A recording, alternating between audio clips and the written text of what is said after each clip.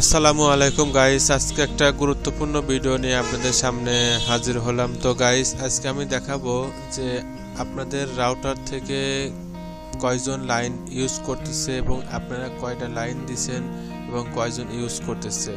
তো গাইস অনেকে হয়তো জানেন যে পাসওয়ার্ড অনেকেই হ্যাক করে ইউজ করে। তো গাইস সেক্ষেত্রে আমরা কি করতে পারি? পাসওয়ার্ড যারা হ্যাক করে ইউজ করে, তো তাদেরকে আমরা জীবনের তরে ব্লক মারতে পারি।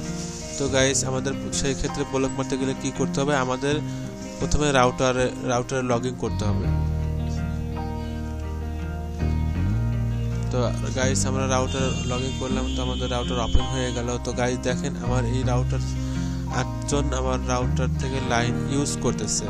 তো গাইস আমি তো লাইন দিচ্ছি পাঁচটা, কিন্তু আমার এখান থেকে ইউজ করতেছে আটজন। তাহলে আমার পাসওয়ার্ড কেউ হ্যাক করে ইউজ করতে তো তো সেক্ষেত্রে গাইস আমরা কি করব? এখান থেকে দেখেন কোন কার কারে লাইন দিচ্ছেন আপনি ওইটা খাতায় লিখে রাখবেন।